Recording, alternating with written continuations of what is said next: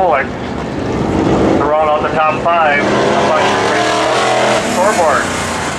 So transferring to the Midwest Modified feature out of B main number two